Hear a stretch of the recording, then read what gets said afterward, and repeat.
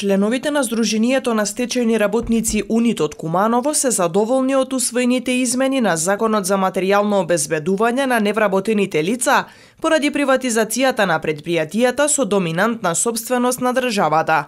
По измените на ниво на државата ќе бидат опфатени дополнителни 1100 стечајци.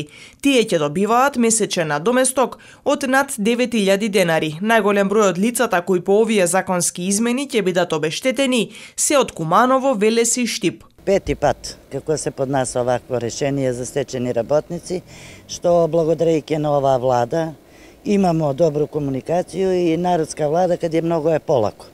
Така што што можев да кажем стечајци радост, значи ќе се згрижив после 15, 16, 17 години да се дојде до парче леб многу значи.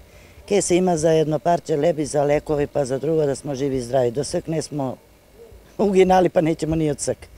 Такој да радост е голема, нарочито на оние што ги фали на некога 5-6 дана, на некога месец, два, на некога 7-8 месеци, што не може со значи да оствари своје право, еве сега ќе остварив право. Од ова здружение посочува дека иако правото веќе го користат над 13.000 лица, сепак се уште нема да се опфатат сите стечајци. Нема, нема да биде вопфатени оние с по 10-13 година во државна собственост. Тоа е више значи преовладало приватен капитал каде што треба и ми да, да знаеме каде нам е место.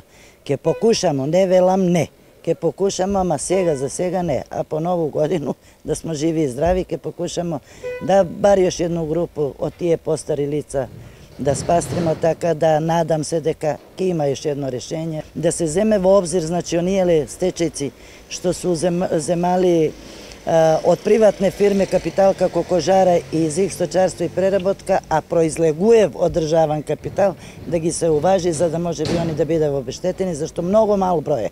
Значи работи се за 2-30 човека, така ја мислам дека и тој ќе најдем разбирање, не е касно, ќе се седне, ќе се разговара с пратеници и се надевам дека и тој ќе успееме. Оние кои исполнуваат услови ќе треба да поднесат барање за остварување на ова право до центрите за вработување.